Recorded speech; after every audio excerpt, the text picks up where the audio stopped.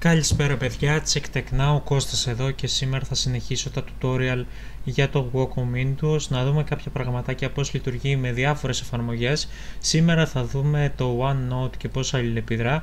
Το συγκεκριμένο λειτουργεί με όλα τα OneNote είτε είναι 2007 είτε 2010 είτε 2013 και δεν υπάρχει κανένα απολύτως πρόβλημα. Το μόνο που αλλάζει είναι το interface από OneNote σε OneNote. Ε, προσωπικά αυτή τη στιγμή χρησιμοποιώ το OneNote 2013 όπως βλέπετε είχα ανοίξει να κάνω κάποιες δοκιμές εδώ πέρα πριν οι οποίες και έμειναν. Μπορούμε ε, να διαγράψουμε ε, διάφορες επιλογές που κάνουμε. Μπορούμε να δημιουργήσουμε καινούριες. οι παλέτες είναι βασικές όπως ήταν και στο Word λίγο πιο μαζεμένα γιατί είναι λίγο πιο σύντομα. Για να κρατάμε σημειώσεις στο συγκεκριμένο πρόγραμμα. Βλέπουμε εδώ πέρα κάποιες ε, συγκεκριμένες ε, λειτουργίες για το πληκτρολόγιό μας. Μπορούμε να γράψουμε διάφορα όμορφα πραγματάκια χρησιμοποιώντας πληκτρολόγιο.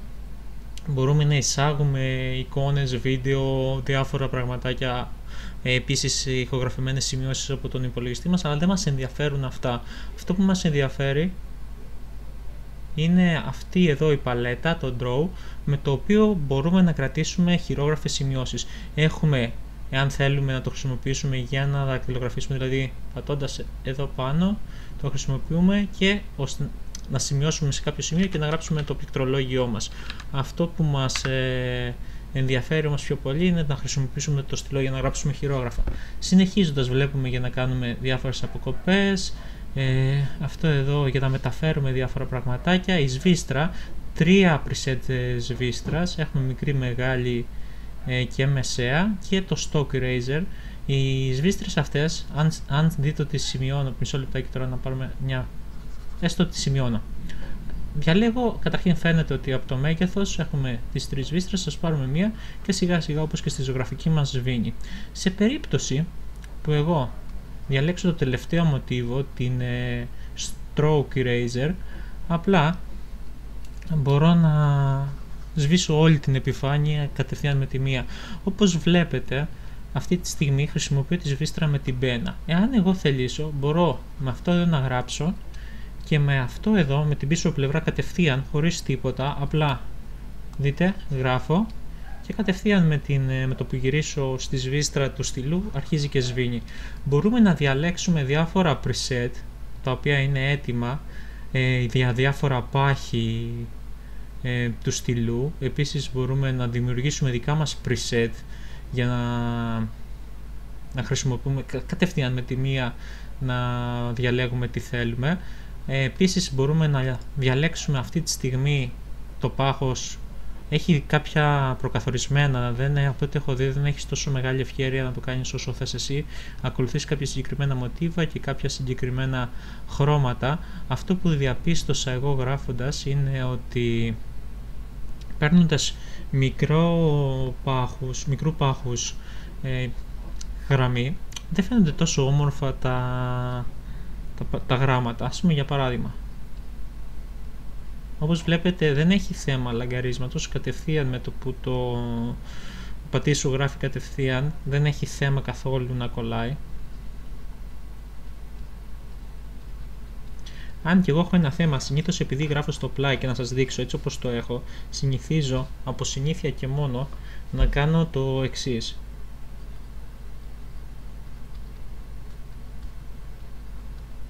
Βλέπετε, γράφοντας με τη φυσική ροή του χεριού, στην ουσία αυτό ξεφεύγει έτσι από το πλάι έχω δοκιμάσει να στρίψω την ταμπλέτα και να προσπαθήσω να γράψω όμως δεν μπορώ, πρέπει να κοιτάω συνέχεια την οθόνη και δεν είναι τόσο εύκολο, ας πούμε δείτε.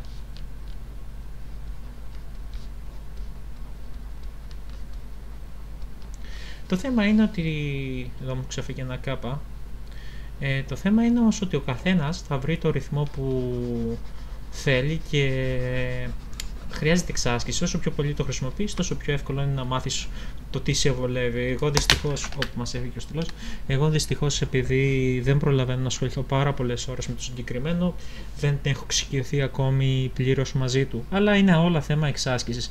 Επίσης, αυτό που θα ήθελα να σημειώσω είναι ότι όσο πιο μεγάλο πάχος στυλού παίρνουμε, τόσο πιο ομοιόμορφα ε, γράφει. Ο στυλός τόσο πιο όμορφο οπτικά είναι το αποτέλεσμα. Ας πούμε δείτε.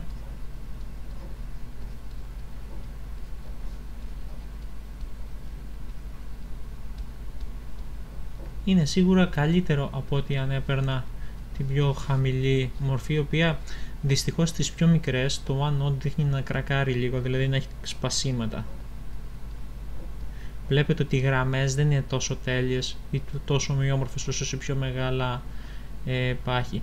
Επίσης, επειδή αν προσέξετε, η τελίτσα, ο κέρσορας είναι τρομερά μικρός, οπότε παίζει αν έχετε πολλά φώτα μπροστά σας να μην βλέπετε που γράφετε.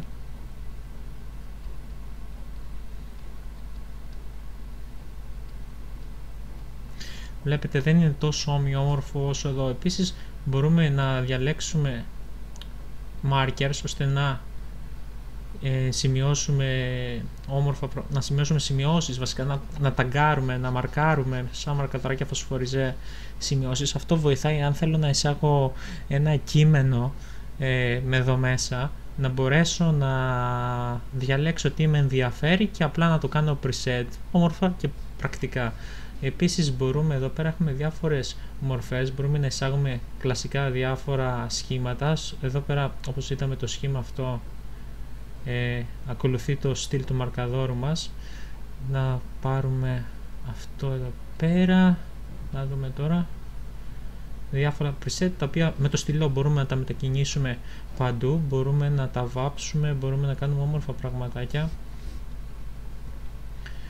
Ε, τι άλλο έχουμε, ε, snap to grid, γραμμές, διανύσματα, βελάκια, ε, σβήνοντας το αυτό. Όπως βλέπετε σβήνει την προηγούμενη επιλογή κατευθείαν που έκανα. Μπορούμε και πολύ χρήσιμο να εισάγουμε μια φωτογραφία.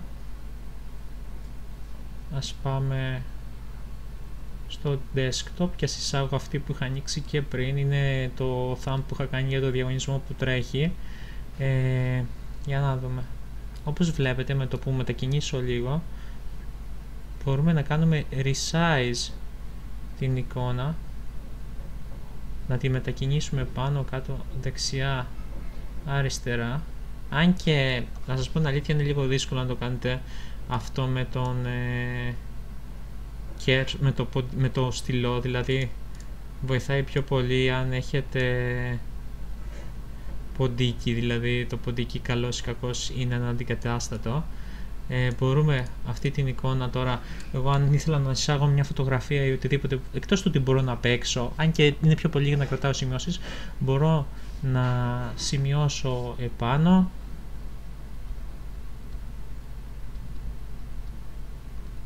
Όπως βλέπετε μπορούν να εμφανιστούν ε, ανάλογα με το layer και το τι έχω γράψει από κάτω. Είδατε ότι είναι transparent αυτή τη στιγμή η εικόνα και βλέπουμε ακριβώς από κάτω τι είχα γραμμένο ε, μπορούμε να φέρουμε βελάκια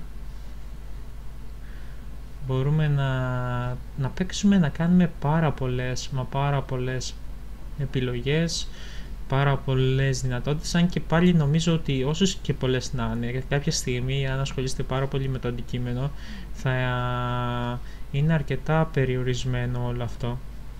Δηλαδή, μπορεί να, να σας κουράζει από την άποψη ότι δεν έχετε τόσες πολλές επιλογές ε, στο συγκεκριμένο εργαλείο. Είναι πολύ ωραίο, αλλά είναι πολύ ωραίο ερασιτεχνικά. Είναι για να παίζουν, να κρατάμε κάποιες σύντομες σημειώσεις. Όπως βλέπετε, σβήνοντας το, σβήνουν όλα εκτός από την εικόνα που έχω βάλει. Ε, μπορούμε να κάνουμε πολύ όμορφα πραγματάκια. Μπορούμε να εισάγουμε, όπως είπαμε, και βίντεο, μπορούμε να εισάγουμε κλειπ φωνής. Αυτό που μας ενδιαφέρει είναι το συγκεκριμένο εδώ πώς αλληλεπιδρά. Μπορώ να μείνω λίγο και στο θέμα σημειώσεις, να γράψω ένα κείμενο ώστε να το δούμε, να δούμε πώς συμπεριφέρεται σε μεγάλα κείμενα, είναι καθαρά στην ευχέρεια του χεριού σας. Εάν έχετε καλό χέρι και σταθερό και μπορείτε να εξοικειωθείτε άμεσα, ε, σίγουρα δεν θα έχετε και πολλά προβλήματα και θα είναι ένα χρήσιμο εργαλείο για τη δουλειά σας. Ας πάμε να κάνω να γράψω μερικά πραγματάκια. Ίσως να σας φαίνονται περίεργα αυτά που θα γράψω, αλλά ως φυσικός μου έρχονται κάποιες ιδέες τώρα στο μυαλό. Θα γράψουμε λίγο για τον νόμο του Κιλόμπ. Όπως βλέπετε το χέρι μου δεν είναι και το πιο τέλειο στον κόσμο.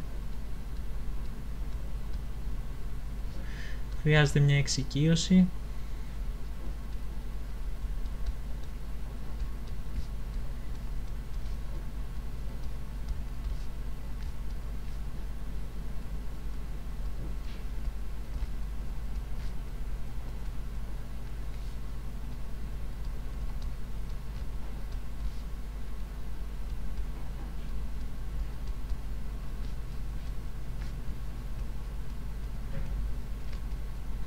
Να δοκιμάσω μήπως και στο πλάι φαίνεται καλύτερο ή γράφεται καλύτερα. Α, όχι, δεν βολεύει τόσο πολύ.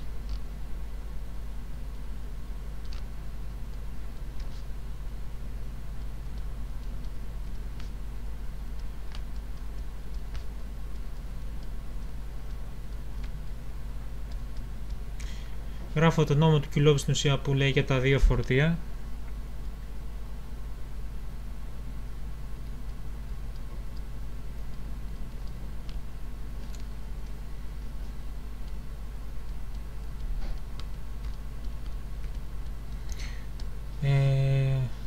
ας πούμε ότι έχουμε δύο φορτία Q1, Q2 ανάμεσα σε αυτά τα δύο φορτία ασκούνται δυνάμεις από το ένα στο άλλο οι οποίες είναι ίσες και αντίθετες όπως μας λέει ο τρίτος νόμος στην ευθαναδράση αντίδραση.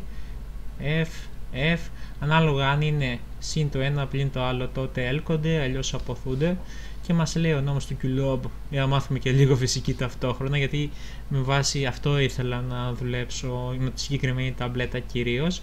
Μας λέει ότι η δύναμη αυτό το F το οποίο ασκείται ανάμεσα στα δύο φορτία είναι ένας τύπος ο οποίος έχει να κάνει είναι το γινόμενο, είναι ανάλογος του πολλαπλασιασμού των δύο φορτίων Q1 επί Q2 δηλαδή όσο μεγαλώνει το φορτίο τόσο μεγαλώνει η δύναμη και αντιστρόφως ανάλογη του τετραγώνου της μεταξύ τους απόστασης δηλαδή το ένα από το άλλο απέχουν απόσταση R. Οπότε εάν εγώ μεγαλώσω την απόσταση τότε η δύναμη όπως βλέπουμε εδώ πέρα θα μικρύνει γιατί μεγαλώνει ο παρονομαστής μικραίνει η δύναμη, είναι αντιστρόφως ανάλογα. Οπότε αν το R μας αυξηθεί τότε η δύναμη θα μειωθεί. Ενώ εάν το Q1 επί το Q2 μεγαλώσει τότε η δύναμη θα μεγαλώσει και αυτή και αντίστροφα αυτό εδώ μας λέει αυτός συγκεκριμένα όπως βλέπετε ε, όσον, αφορά το, όσον αφορά το σχέδιο όσον αφορά κάποια βασική περιγραφή είναι αρκετά καλό, αρκετά χρήσιμο. Δυστυχώς η γραφή, αν θες να τον γράψεις με λόγια, αν θες να γράψεις ένα κείμενο ε, με γράμματα βασικά, είναι αρκετά δύσκολο. Ε, δύσκολο γιατί θέλει εξοικείωση. Αν ασχοληθείς πολλή ώρα, κάποια στιγμή θα πάρεις το κολλάι. Αν είσαι, κάπο... αν είσαι αρχάριος χρήστης όπως είμαι εγώ, θέλει πάρα πολύ εξοικείωση. Αλλά δεν είναι τίποτα. Είναι θέμα καθαρά εξοικείωσης. Ε, κατά το πώς θα δουλέψεις. Θυμάμαι στα παλαιότερα του 2007 και 2010, εκτός από μαρκαδοράκια, είχα και άλλες ε, δυνατότητες. Είχα και άλλες δυνατότητες για στυλό ή για μολύβι. Εδώ περιοριζόμαστε, τουλάχιστον όπως βλέπω εδώ, από μόνο μαρκαδόρο, δηλαδή γράφω μόνο με ένα one mode, δεν έχω διάφορες πένες, δεν έχω διάφορα πραγματάκια να διαλέξω. Αυτό είναι λίγο περιοριστικό, αλλά νομίζω ότι ο καθένας θα βρει το δρόμο του και θα προσαρμόσει τα πράγματα στο πώς θέλει αυτός. Αυτά προς το παρόν, παιδιά, ελπίζω να σας άρεσε το συγκεκριμένο μικρό βίντεο του τώρα λίγο να δούμε πώς συμπεριφέρεται. Ε, αυτό που σας είπα τώρα πάλι, δηλαδή προσπαθώ να αντιπίσω τον, ε, το pointer, είναι λίγο δύσκολο γιατί είναι τρομερά μικρό. Λοιπόν, ήταν το check. Καλά, χάλια το γράφω, ναι. Ελπίζω, γι' αυτό σας λέω, μικρός, η, η μικρή διάμετρος δεν είναι τόσο καλή στην ε, πένα. Ήταν το check tech now, ήμουν ο Κώστας και ελπίζω να σας άρεσε το συγκεκριμένο tutorial παιδιά. Ε, στο επόμενο θα δούμε κάποια εφαρμογή γραφικής που σίγουρα το συγκεκριμένο δείχνει τα δόντια του πολύ περισσότερο. Να έχετε μια όμορφη μέρα. Γεια σας.